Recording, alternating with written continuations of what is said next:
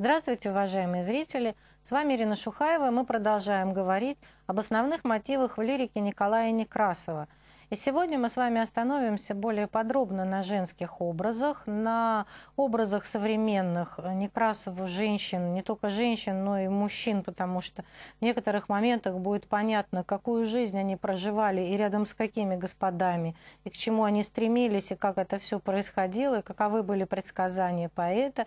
Поговорим немного снова об отношении Некрасова к самому себе, к своей музе, э, к тому, каким должен быть поэт, гражданин, кто должен писать для людей и как это должно выглядеть, что происходит в современном ему э, литературном мире, что пишут. Это немножечко такая будет затравка, потому что когда я буду вам рассказывать о значении сатиры в творчестве Некрасова, э, как раз буду приводить очень много примеров э, стихотворений, описывающих работу цензора, описывающих издательский процесс, описывающих, что и как происходило, как читала публика, как как разносили газеты, как, какова была та жизнь тогда. И мы с вами увидим, как много похоже э, сегодня и, как сказать, по ощущениям Николая Некрасова, засилье глянцевой прессы было на Руси уже в середине XIX века и никак не является это сегодня прям уникальной, отличительной чертой э, нашего дня.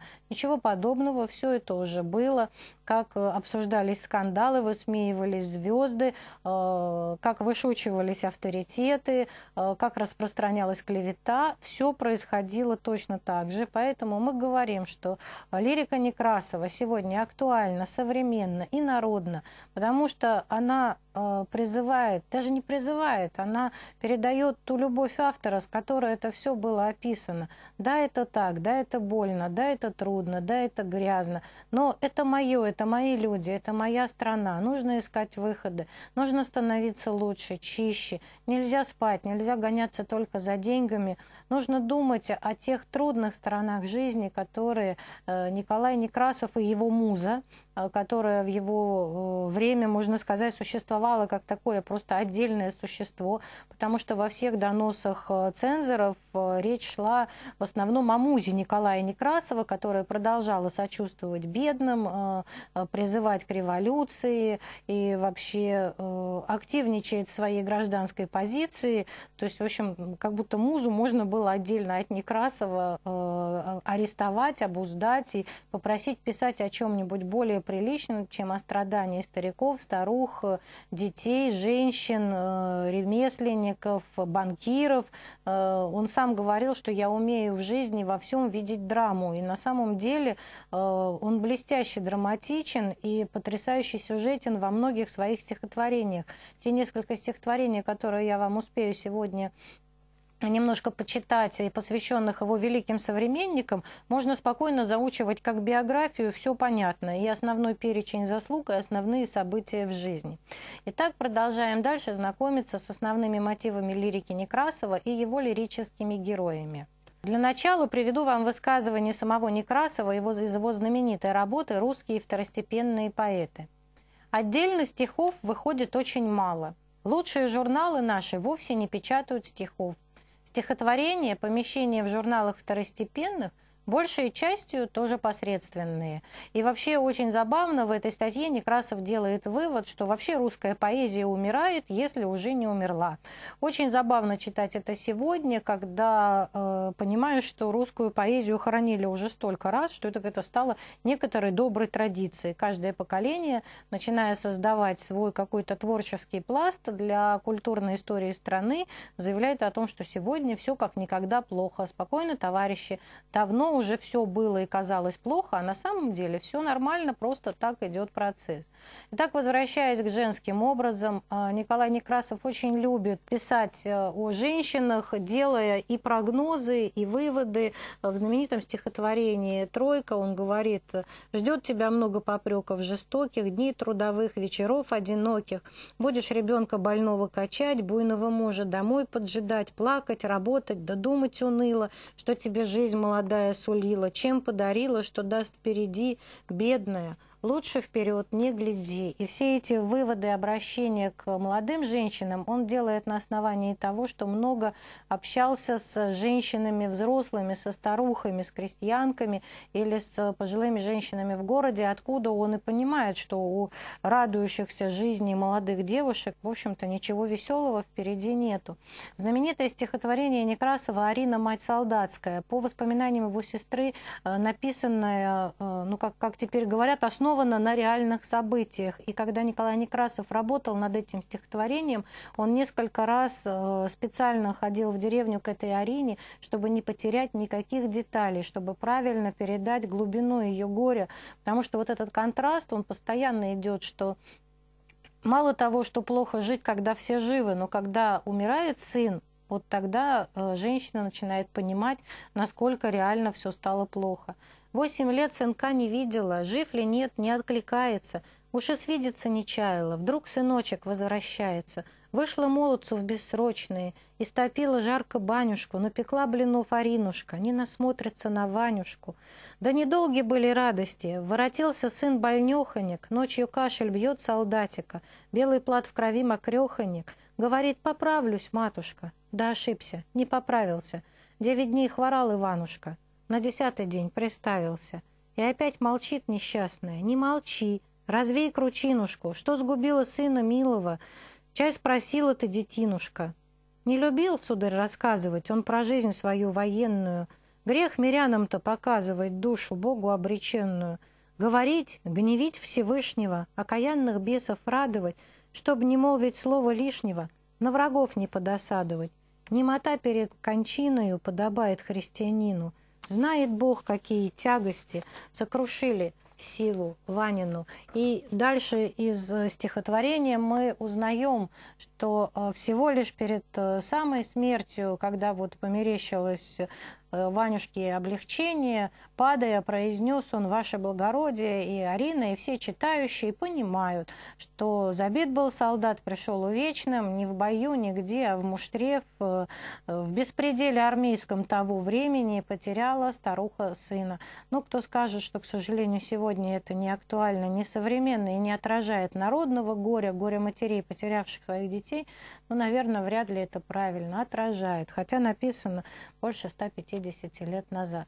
Знал э, Николай Некрасов женщин не только деревенских, не только крестьянских. Он прекрасно знал э, быт э, городской, быт помещичий. И то, что страдали у него все женщины э, по-разному, это точно. И есть тут стихотворение у него, которое называется «Дешевая покупка» или «Петербургская драма». Распродают имущество, барину цены по барабану, барыня торгуется, мучается, автору интересно понять, в чем дело. И вдруг, значит, только у няни глаза заслезились, вот и с приданным своим мы простились. Молвила няня, какое приданное? Все это взял он за барышни нашу. Вместе весной покупали с мамашей. Как любовались. И тут автор делает открытие, что вот оно в чем дело, вот почему, что она прощается со своими мечтами, со своим образом жизни. Девственные мысли, мечты обольстительные, там совершается торг возмутительный. Как же еще можешь сдержать ты рыдание? В очи твои, голубые красивые, нагло глядят торгаши неприветные – Осквернены твои думы стыдливые, проданы сторгу надежды заветные. Няня меж тем заунывные жалобы шепчет мне в ухо. Раз продали дешево, лишь до деревни доехать достало бы. Что уж там будет, не жду я хорошего. Барин поди загуляет с соседями, барыня будет одна одиноконька. День-то не весел, а ночь-то чернохонька. Рядом лисище с волками, с медведями. И э, автор э, стихотворения расчувствовался настолько, что вообще чуть ли было, вот, был, было бы вот чуть-чуть еще, и он пишет, чуть денег не одолжил, а он сам торгаш. То есть образ такой вот лирический герой, образ автора, вот он, он ходит туда торговать, потому что отдают дешево, но вот ему очень интересно, почему барыня так отчаянно торгуется, почему она такая печальная. Ну, все понятно, это вот э, мамашиными усилиями, замуж была выдана, промахнулись. У Некрасова вообще очень много касаемо городской жизни, неприглядной, таких вот взаимодействий между матерью и дочерью, когда именно мать толкает дочь либо замуж куда не нужно, либо просто на распутную дорогу. И именно эти женщины вызывают у Некрасова вот, вот реально чувствуется сильное негодование. Так что о женщинах Некрасов писал разных, не только о крестьянках. А, образы блистательные жен декабристов и тему вот отношения Николая Некрасова к восстанию декабристов и к тому, что происходило после, мы с вами рассмотрим отдельно. И, конечно, поэму «Русские женщины» тоже разберем. Но есть еще и другая картина современности. А, это сейчас я буду вам рассказывать о стихотворении «Балет». Обязательно найдите возможность его прочитать, потому что там очень ярко показаны те особенности э, лирики Некрасова, сочетающие в себе, казалось бы, несочетаемые. Есть в России еще миллионы. Стоит только на ложе взглянуть, где уселись банкирские жены. Сотня тысяч рублей, что не грудь. В жемчуге лебединые шеи, бриллиант по ореху в ушах. В этих ложах мужчины-евреи или греки, да немцы в крестах – нет купечества русского стужа, напугала их, что ли, одна, откупщица, втянувшая мужа в модный свет в билетаже видна. И дальше он рассказывает быстро Николай Некрасов историю о том, что весь Петербург обсуждает, как она э, закладывает украшения, валяется в ногах у ростовщика, но тем не менее выводит себя и мужа блистать в свете, настолько ей это дорого, что готова вот с бешеным волком покумиться, чтобы снова блистать. Вообще, в билетаже сияло много дам и девиц красотой. Очень чудные так и сверкали. Но кому же сверкали они? Доблесть, молодость, сила пленяли сердце женское в древние дни. Наши девы практичней, умнее, идеал их телец золотой, воплощенный в седом иудеи, потрясающим грязной рукой груды золота. Вот интересно, стихотворение такое многослойное, э, э, стужа, дикая стужа, значит, э, знать едет в театр на премьеру, на бенефис, половина из них ничего не понимает, ни в музыке, ни в балете, ну вот показали друг друга, причем описывая музыку, действия на сцене, он становится таким светлым, таким сентиментальным, потом вот описывает общество так жестко, категорично, сатирично и переходит к тому, что параллельно тому, как кто-то сидит в балете, а, по нужде необходимо зарабатывать копейку и просто по образу жизни вот в этой страшной стуже тянутся обозы крестьянские, как они идут, что они при этом поют, что они думают. И вот эти вот песенные мотивы, как альтернатива тому искусству, которое только что было описано в начале стихотворения, вот это стихотворение очень яркий пример того, что э, говорят литературоведы о Некрасове, что он позволял себе в одном стихотворении соединить и и лирику, и сатиру, и гражданские мотивы. Да, действительно, он высказывал вот такое, такое отношение к явлению вот в полном объеме, то, как он это видел.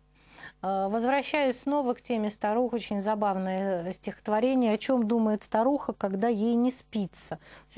Они не только теряли детей, а, они живут у него полной жизнью в его произведениях. В позднюю ночь над усталой деревней сон непробудный царит. Только старуху, столетнюю древнюю, не посетил он, не спит. Мечется по печи, охает, мается, ждет, не поют петухи. Вся-то ей долгая жизнь представляется, все-то грехи да грехи. Ох ты мне, часто владыку небесного я искушала грехом, нуткася сходу, сходу-то крестного, раз я ушла с пареньком в рощу. Вот то-то мы с молоду дурочки думаем, милостив Бог. Раз у соседки взяла из-под курочки пару яичек. Ох, ох. В страдную пору больной притворилась, мужа в побывку ждала. С Федей солдатиком чуть не слюбилась, с мужем под праздник спала. Ох ты мне, ох, угожу в преисподнюю, раз как забрили сынка. Я возроптала на благость Господнюю, в пост испила молока. То-то я грешница, то-то преступница, С горя валялась пьяна. Божия Матерь, святая заступница, вся-то я грешная, вся-то грешна. Вот насколько образ жизни старухи показан да, в перечислении ее грехов. Вот так они и жили, и, наверное, многие, мающиеся бессонницы, часто перебирают свои собственные грехи и воспоминания. Но посмотрите, каким простым, понятным языком э, делает это Николай Некрасов. И не случайно э, в своей работе о Некрасове Василий Розанов напишет, что его стихи запоминались наизусть страницами, и при этом никто не прикладывал особенных усилий. Ну, напомню вам, конечно, знаменитая в полном разгаре страда деревенская, доля ты русская, долюшка женская, вряд ли труднее сыскать. Не мудрено, что ты вянешь до времени всевыносящего русского племени, многострадальная мать. Действительно много писал Некрасов о женских страданиях, при этом, знаете, как бы не самозабвенно в этом ковыряясь, а показывая, что э, это та часть вот внутренней силы, которая э, действительно русским женщинам была свойственна, но и, как мы все сегодня думаем, еще и осталась. Поди-ка с нашими невзгодами справься, когда муж лежит на диване, тоже же трудно. А несколько буквально строчек успею вам привести из жизни э, журналов э, и о работе цензора, как тогда исправляли рукописи. Ужасаюсь, читая журналы. Где я, где цепенеет мой ум, что не строчка, скандалы, скандалы. Вот взгляните, мой собственный кум облечен, моралист, проповедник, циц, умолкни, журнальная тварь. Он действительный статский советник. Этот чин даровал ему царь. Дальше послушайте, как исправляли тексты во времена Николая Некрасова. Так хранят целомудрие прессы, не всегда был, однако, я строг. Если б знали вы, как интересы я писателей бедных берег. Да, меня не коснулись упреки, чтоб платы за труд их лишал. Оставлял я страницы и строки, только вредную мысль исключал. Если ты написал «равнодушно губернатора встретил народ», исключу я три буквы. «Радушно» выйдет, что же, три буквы не в счет. Если скажешь в дворянских имениях, нищета ежегодно растет, речь идет о сардинских владениях, поясню, и статейка пройдет. Точно так, если страстную Лизу соблазнит русокудрый Иван, переносится действие в Пизу, и спасен многотомный роман. Незаметные эти поправки так изменят и мысли, и слог, что потом не подточишь булавки. Да, я авторов много сберег. Любовь и труд под грудами развалин, куда ни глянь, предательство, вражда, и ты молчишь бездействием печален, и медленно сгораешь со стыда, и небу шлешь укор за дар счастливый. Зачем тебе венчало им оно, когда душе мечтательно пугливой, решимости бороться не дано? Тут, конечно, несколько слов еще нужно сказать, что, разбирая стихотворение Некрасова, э, нужно помнить, ну, о серьезных его собственных проблемах со здоровьем и уже о такой о финальной тяжелой болезни.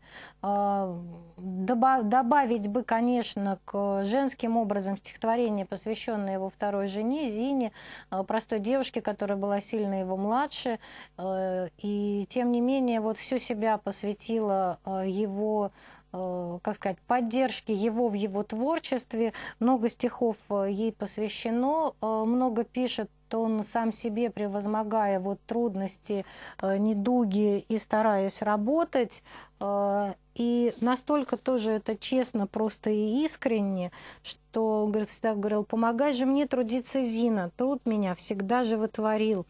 Вот еще красивая картина, запиши, пока я не забыл. Да не плачу кратко, и верь надежде, смейся, пой, как пела ты весной. Повторяй друзьям моим, как прежде, каждый стих, записанный тобой. Говори, что ты довольна другом в торжестве одержанных побед. Над своим мучителем, недугом, позабыл о смерти твой поэт. А, девушка была деревенская, звали ее Фёкла Анисимовна Виктора, Викторова. Это сам Некрасов э, переименовал ее в Зину.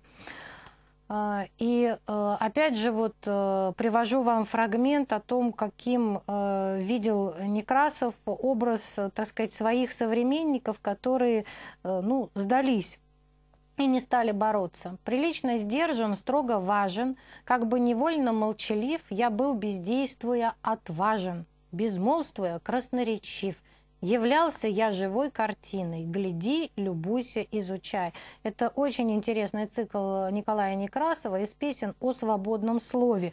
Ну, практически все наши современники, все наши э, вот моральные споры, нравственные искания по поводу того, каким сегодня должен быть гражданин, о чем говорить, о чем молчать, все это уже прекрасно описал Николай Некрасов и оставил нам в помощь чтобы мы могли как-то сверить координаты и дальше подумать. Э, блестящая э, череда портретов э, современников осталась в его творчестве. Это и стихотворение, посвященное Белинскому, наивная и страстная душа, в ком помыслы прекрасные кипели, упорствуя, волнуюсь и спеша, ты честно шел к одной высокой цели, кипел, горел, и быстро ты угас. Э, совсем другое стихотворение было написано на смерть Шевченко. Все он изведал, тюрьму петербургскую, справки, допросы, жандармов любезности, все, и раздольную степь Оренбургскую, и ее крепость в нужде, в неизвестности. Там, оскорбляемым каждым невеждою, жил он солдатом с солдатами жалкими. Мог умереть он, конечно, под палками. Может, и жил-то он этой надеждою, показывая вот характер каждых разных людей. И э, тоже знаменитое его стихотворение памяти Добролюбова «Суров ты был, ты в молодые годы, умел рассудку страсти подчинять, учил ты жить для славы, для свободы, но более учил ты умирать. Сознательно мирские наслаждения ты отвергал, ты чистоту хранил, ты жажде сердца не дал утоления, как женщину ты родину любил». Свои труды, надежды, помышления ты отдал ей, ты честные сердца ей покорял, Взывая к жизни новой и светлый рай, и перлы для венца, готовил ты любовница суровой. Вот мы э, говорили уже о том, что э, понятие народности, особенно для русской литературы, обязательно включает любовь к родине. И вот такая небольшая э, галерея современников, есть еще стихи, посвященные Салтыкову-Щедрину и многим другим. Э, отношение к самому Некрасову у современников было очень э, разным. Он был слишком успешен как издатель, он был очень талантлив как писатель. Многим хотелось видеть в нем только редактора и издателя. Он прекрасно при этом писал сам. Личность личность сложная, противоречивая, да, там, с условными э, моментами нравственности, да, когда вот жил он долго с Авдотьей Панаевой, мы поговорим об этом, когда будем говорить о прозе, они много писали вместе романов, поддерживая журналы. Он был общественным деятелем, он выдерживал атаки на современника, потом на отечественные записки, и тем не менее вот о лучших людях он оставил такие прекрасные поэтические портреты, потому что в этом цикле у нас с вами не будет будет отдельной программы о э, современниках Николая Некрасова.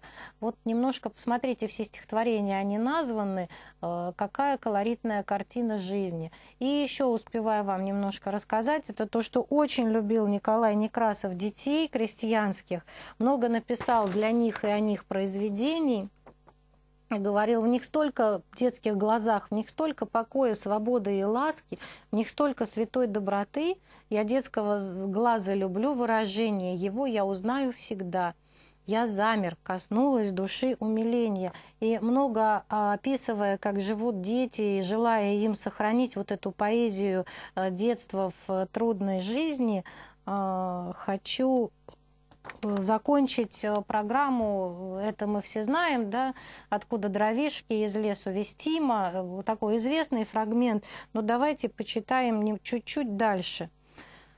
На эту картину так солнце светило, ребенок был так уморительно мал, как будто все это картонное было, как будто бы в детский я театр попал.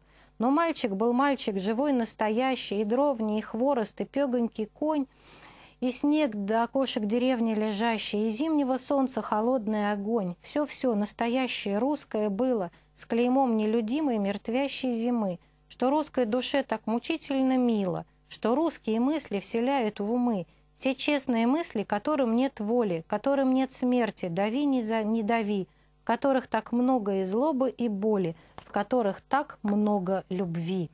Вот удивительно, от сцены мальчика, который везет лошадь, Некрасов вот в нескольких строках переходит к содержанию русских мыслей о том, сколько в них много любви. Читайте Николая Некрасова. Наша программа на сегодня закончена. Всего доброго, до свидания.